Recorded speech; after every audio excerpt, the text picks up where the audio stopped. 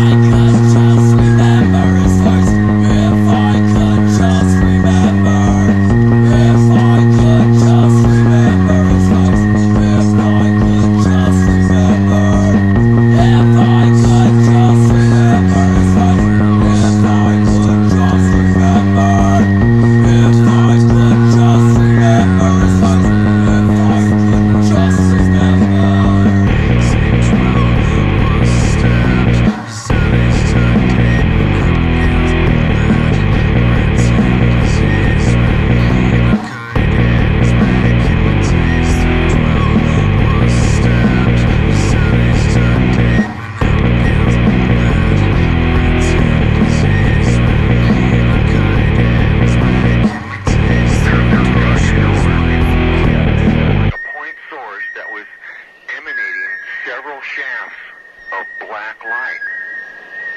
It was like negative light. There, there's got to be several hundred people that saw. You'd have to experience this in order to believe me. I, I, I, I'm afraid to walk outside.